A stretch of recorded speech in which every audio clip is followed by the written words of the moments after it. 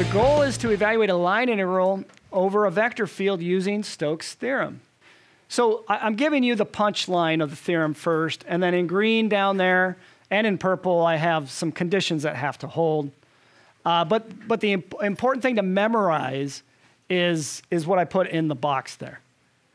And basically, what Stokes' theorem says is that the line integral with respect to a vector field in, in certain conditions, f dot dr, is going to be equal to a surface integral over S, um, and the integrand is the curl of F.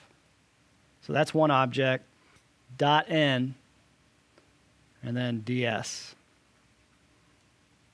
This is where S is an oriented, piecewise smooth surface bounded by C, a piecewise smooth, positively oriented closed curve. F has to be very well behaved. Uh, so uh, one way of saying that is F has continuous first partials in an open region containing S. So what is the part that says um, S is bounded by C? What could that possibly mean? So it's not a closed surface. So the picture then, so let's say you have a hill. I often draw my surface as a hill. It could be a depression, though, it doesn't matter. Um, let's say it looks something like that. So this is my surface S.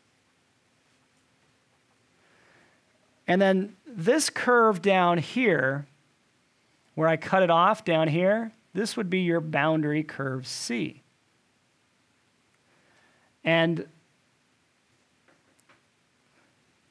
if we assume an upward orientation so that you get normal vectors that, you know, the, the vectors vary in some continuous way, the normal vectors vary in some continuous way, but the k components are, are positive, at least until you get to the, the boundary curve itself, you'll have positive k components, won't you? So this curve in black here is, is what we're referring to as the boundary curve.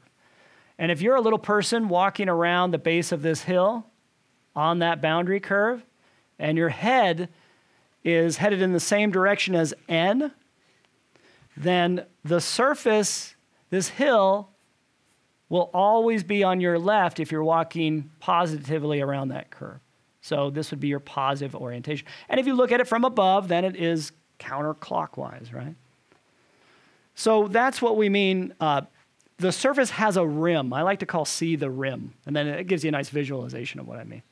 So that boundary curve C is its rim. Does that make sense? Okay.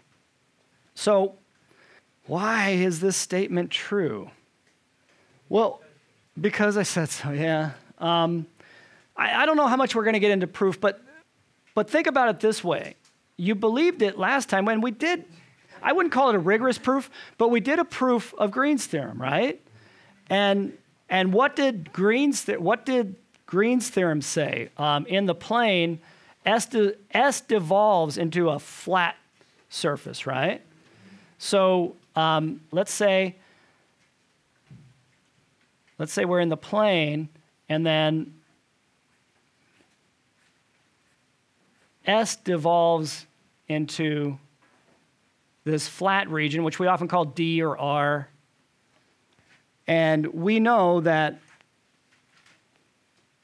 from the discussion last time, then, that the integral over this C here, assuming that, uh, that this surface is in the xy plane, that um, it's going to be the line integral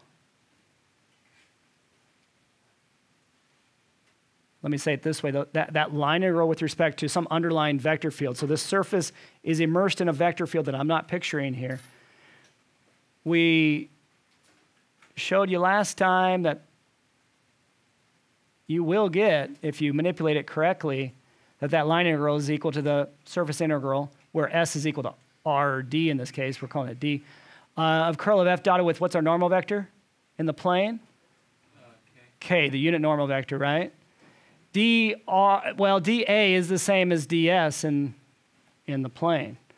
Um, and so you believe this, right? So all we're really saying is if you warp if you warp S, so this surface here, in some reasonable way so that the surface remains smooth or piecewise smooth, um, and of course you don't do anything crazy with C, we're saying it'll still be true. And that's because what happens when you're dealing with a smooth surface? We haven't talked about it that much, but back in Calculus 1, you talked a lot about if you zoom into a differentiable function. So remember in Calc 1, all your differentiable functions, for the most part, were nice, smooth curves, weren't they? Something like that. And what happens when you zoom in on any little part of that curve? You get something that looks like a line, don't you? And so you have this similar idea with a smooth surface. If you zoom in on it, if you zoom in far enough, like to this patch of it, it's going to look like a flat plane, right? So it's not too hard to believe that um, just because you warp the surface a little bit, it's not too hard to believe that that relationship between the line integral f dot dr and the surface integral curl of f dot k, it's not too hard to believe that that wouldn't change too much. That's my hand wavy argument. But that's good for now.